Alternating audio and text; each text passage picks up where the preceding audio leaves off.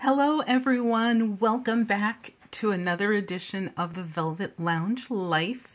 And this is the final um, tour or view of the remaining stickers in this special Treasure of History book.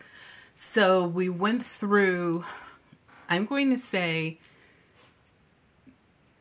probably 70% of the book. So the last 30% I won't keep you too long. There's, you know, some cool, amazing treasures in here and just things that are, that kind of blow your mind with the possibilities as to what you could do with them. Now, I had a couple questions, so I wanted to answer those before we get into touring this book. And yes, I did sort of fancy it up a little bit since this is like the final in this little tour. So one of the questions I had was, do I plan on using the stickers in the books? Now, in an upcoming video, which has not come out as of the time that I am filming this video, I do answer that question. So if you watch video number three, which is a tour of this book, you will get that answer and by now you have it because this is a future video and the final in the series. But I will skip ahead and say yes, yes, I will be using the stickers. The reason why is I have um, two editions of the book that you see in front of you. And because I have two of this book, um, I will be using one of them, using the actual stickers in them the other one I am keeping and until I hopefully receive another version so that that one will go into my dressing room in a display with other special books. So hopefully that answer wasn't too long, but yes.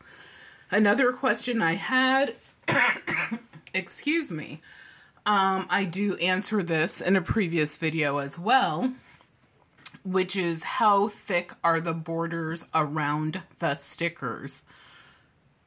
Okay, so it depends on the sticker. There are some stickers where there is zero border, and I will show you an example of a couple of those today. And there are honestly probably a good majority of the stickers where the border is at least, I'm going to say, two tenths of an inch or so thick and we'll even measure out one of those for you today so that you could see. So yes, the ones with a thicker border, I suggest that you sort of just trim it out.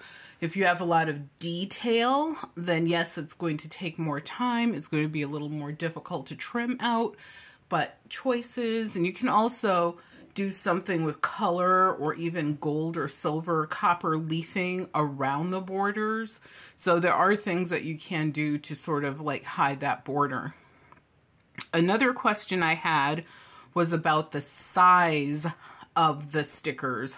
Awesome question because usually I'm measuring and showing you guys that and I totally missed that mark. I will do that today so that you can see how large some of these stickers are that do not fill a complete page. Obviously, if it fills a complete page from top to bottom, left to right, um, I do talk about in the first video, you know, how wide this book is. So that gives you an idea. So without further ado, let's remove some of our um, little accoutrements here and get into this book. And I hope that you guys are having a great day. So, where did we leave off? It's sort of like reading a book to a child or someone. I love it. So here we have, and actually for measurement, I am going to use this American um, silver half dollar or 50 cent piece so that you have like sort of an idea I also have a standard size gift card here so that you can get an idea as well. So, for example, this sticker, it may appear bigger on your screen, but you could see that it is the size, it's a little tiny bit bigger than this half dollar. And then this kid in the bird costume, he measures about four inches at the longest points. And this guy, who I adore, this is going, I think it's a girl actually. Um, she's about four and a half inches. It's so cool because in the flowers, you can see there's like five more kids like hiding. So this is really kind of creepy in a way, but also very cool. Morel mushrooms. Can't wait until the early, early spring to go hopefully looking for some of those. A horse made from potatoes. Oh, he's right here. And we get into the letters again. The letter V. I happen to think that this is probably one of the prettiest alphabet pages in the book. The V for, I'm, I'm assuming this, I thought it meant violets, but these are kind of not violets. This one might be sort of a violet. Maybe it's a, this is a violet of a different variation, European or something.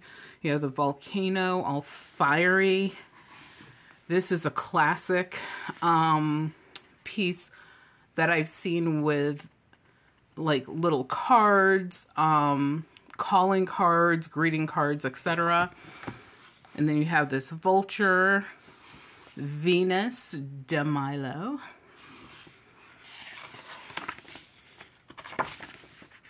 And then we get into another favorite page of mine which is this one because of all of the literary references here. We have the little girl reading the book. She retired to the Society of Pages.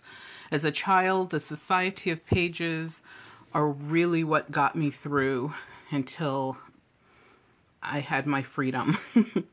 and here we have this wonderful display with a triple or a trio of books. And look, newspaper tiny newspaper, but she's reading it with her little bubby. The Bookman Christmas number. So this is a gorgeous page. The beetle here is one of my favorites in the book. This little girl, or I think it's a girl, with the butterfly wings, which almost look like moth wings. Phillis Wheatley absolute famous American poet.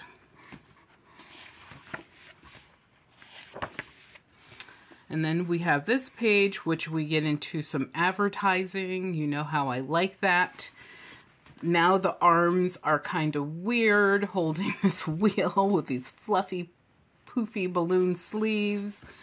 And talking about balloons. And of course, you know, people who are into the study of bugs, which I think is called entomology.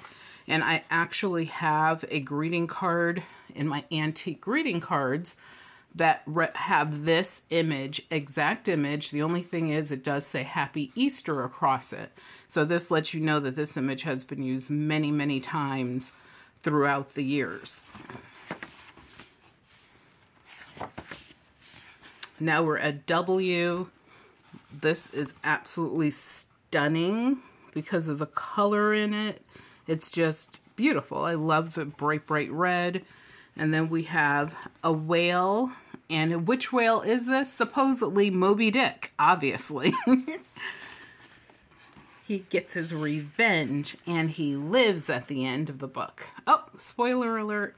And then here we have this beautiful, I guess she's supposed to be the good witch um, as she flies by on her broom with what appears to be the sun because of the color. That I believe that's what it's supposed to be. You would think it should have been the moon instead. And once again, more girls reading. Notice that theme. Not a lot of boys reading, but girls reading in this book. And this actually says good luck. Don't forget to dream of me. Which this says to my friend, but I at first when I saw that I thought Valentine, but don't think so. This is a very skilled little doggy.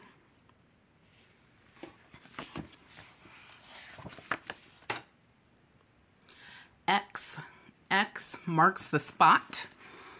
And here we are. So what does this represent? Does anyone know? We could not figure this out, so please let us know in the comments down below. Obviously, X-ray, we believe, which seems to be kind of strange. And this would have predated any x ray technology.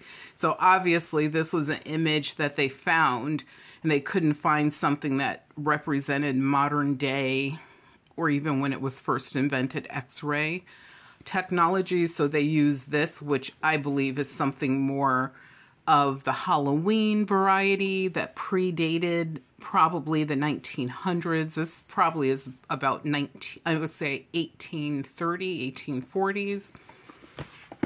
So no x-ray machines then. And this is another one. We did not know what this meant. So if you guys have a clue, please let us know. And the double X's here in America, that, that stands for alcohol. So if you don't want your kids to eat sugar, tell them there's alcohol in it. It's true. and then we have this gorgeous, gorgeous, gorgeous color wheel. I love color wheels. I love prisms, color wheels, buttons, costume jewelry, you name it. Obviously, cool little cards and old vintage paper pieces, aka ephemera. And look at this rabbit or hare. This is actually hare and it's outlined in this beautiful blue. So here's a good example of where I can show you a border. So you would think the border stops at the blue, but it does not. The border around this one is a bit smaller, which is good. And I will show you the measurement here. So you can see approximately how thick it is. So there's definitely some girth to that that you would want to trim away. This easy trim, but if you're trimming something like this, you know, it's a little bit more complex because there's all the little nooks and crannies that you need to get into. But it's totally doable. I've done it. Something I thought that was super interesting is this crazy looking bug, like insane. And it has a skull in the middle of its back, or what appears to be a skull. And I was like, hopefully, I mean, goodness, is that a real representation of an actual bug that existed now or in the past? And then we get into some beauty where we have this gorgeous girl who's sort of just slinking over this crescent moon of course, lots of floral representation. These beautiful fairies who are once again up to mischief, let alone what did he do? he has time out in comfort and luxury. Uh, the three girls um, being read to by, I assume, this the oldest girl. And like I said, once again, lots of girls reading in this book, I noticed. So it'll be interesting to see like in the very because this is book two like in book number one how that plays out and then we have the letter y we did not know what this represented so if you know please let us know.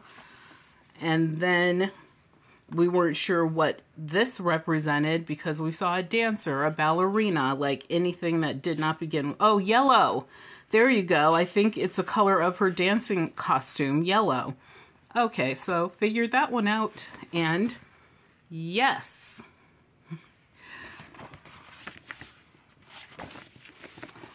And then we have this page with what appears to be Little Red Riding Hood on the back of a wild pig. We just thought that was the weirdest thing ever. Like, super weird, but super cool, and I don't know if it's creepy enough for a ghoulish spell book, but imagination, it works.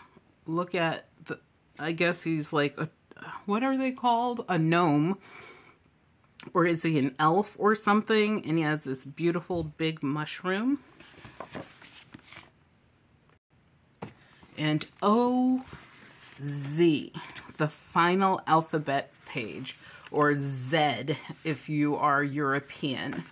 Um, they pronounce some of the letters differently than we do even today in Europe. So it's kind of weird. I follow several European folks um, on YouTube, so I've heard them use this word. But here you have the letter Z. Uh, you know, that's pretty self, you know, zinnia, zebra. I assume this is sort of like a fan. So we don't know what this means, why it's here. And everything else, we can pretty much, you know, figure out what it is. Oops, I skipped. Oh, so we get into the number pages. In this book, the number pages are at the very, very back of the book. This is absolutely stunning, and it has a bunch of Greek wording around it. Not Greek, it is um, Latin, sorry, Latin wording around the frame. And let's see how thick that frame is. Okay, see, this is a great frame of the sticker because it actually had, like, the color here goes all the way out. I wish that more of the stickers did do this, but a large majority of them, they don't do that. This one is a very cool one as well because it's sort of in the cutout of an actual stamp. I do wish there were more stamps in this book because that would be super cool. like so, so cool. And then we have our little lovebirds, but you can see how thick their border is. So you would want to sort of trim them out and be careful of the little details.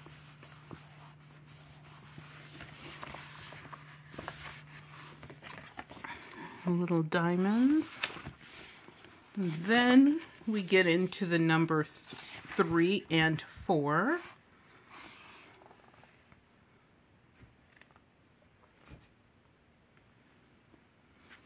Look at the four little doggies. Super cute. Can't wait to use that. And this is another one that has a great border on it because no work is needed. That border is perfect. And can, oh, I thought you could see where they sewed this in. We get to the numbers five and six. Oh, and let's see how this sticker is. Yep, see for the stamps, they I think this is a great job. I mean, look at how thick it is. It's still kind of thick, but I do like the fact that these have this decorative like border around them. Here is another gorgeous piece.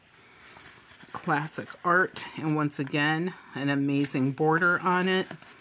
But then you get to this one, which has a very healthy border around it. So as you guys can see, there's definitely some variations in these borders.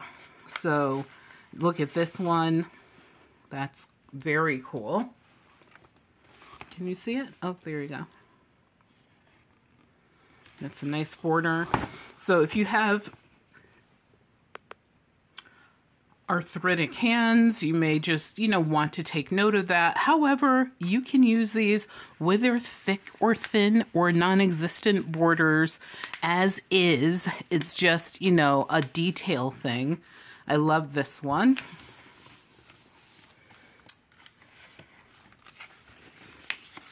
Oh, again, as I've mentioned too many times, these gorgeous in between pages. Then we get to the number seven and eight. Absolutely lovely details and gorgeous pictures here. And this is an octopus, so th these are its eyes, not something else. And then here's another stamp I could actually, I, I mean, oh, so many ideas, so many ideas. Let's see how many I complete this year. You can see the color around this, how thick it is. Is this, I think, Elizabeth? Let's take a look. Or maybe, oh, it's Martha Washington. There you go. I mean, all these old white um, ladies of that era, they do have this classic look when they get older because if you were in fashion, you wanted to make sure that, and especially if you were wealthier, that you, you know, had yourself made up a certain way. So she does look like Queen Elizabeth and or it could be the artist like drawing people who look way too similar. And this is a very cool one, reminds me of Hocus Pocus, starring the wonderful, the fabulous, one of my favorite, probably top 10 people, Bette Midler. And so this one also has a really cool border because it doesn't follow the green of the page. It actually is the same color as the background of the sticker, which I like. And then we have 9 and 0, or 9 and 10. And so you have nine eggs, which is kind of weird. But then you have all these gorgeous little pictures down here, playing card. And then you have another playing card here. And there are other playing cards in this book. Here's one here. So at the end, they get a little wild with the playing cards. More stamps. Love, love, love, love, love this. However, if you were to, and notice how the background is pink on this page. But if you were to use a sticker, you if you're all about the details, you are going to have to seriously deal with the border because the border is incredibly thick. So you're going to have to cut out around all of these little itsy bitsy bits and pieces so that you really get something that looks like a higher quality um, piece of artwork when you use it in your projects. But I love it. It's gorgeous. It's beautiful. It's amazing. And then we get to the end of the book and this page is also gorgeous with a little elfin like it sort of looks like oh he's a fairy. The little i know because he has wings. The little fairy guy at the end. Look at this gorgeous border. Like you could use this in one of your journals or other projects that you're working on as well. So that is the end of the tour. And once again when you go out and you're recovering books from you know that people don't want look at the back pages, look at the front pages. These are totally usable, and some of them will even be vintage and antique paper, which I use in my artwork when I'm making things. You can do the same, and the quality of this paper in those older books are amazing. Like, you can't put a dime on it. So, thank you guys for tuning in to the Velvet Lounge Life and watching the tour of the Antiquarian sticker book, Bibliophilia. Like I said before, this is their book number two. And this one is a first edition published in 2021. This is the very first book that they published, which they published in the year 2020. And this is also a first edition. You can see that right there. And we will be doing a tour of this book next. But I would just like to give a round of applause to this book because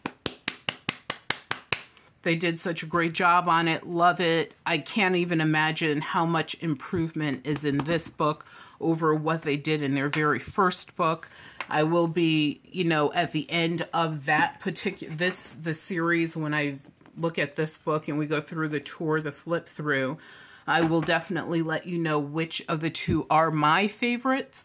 If you have both of these books or if you've heard of them, or if you've gotten stickers out of them and maybe you don't have the entire book, let me know which one is your favorite in the comments down below. So thank you so much for tuning in. Remember that your health is your wealth, and without your health, you have absolutely nothing. So please take care of yourselves. Remember to subscribe to the Velvet Lounge Life just by clicking that subscribe button and also clicking the thumbs up and watching our videos is so helpful to the channel and it lets YouTube as well as Google know that this is content that people actually like and care about. So thank you so much and be well.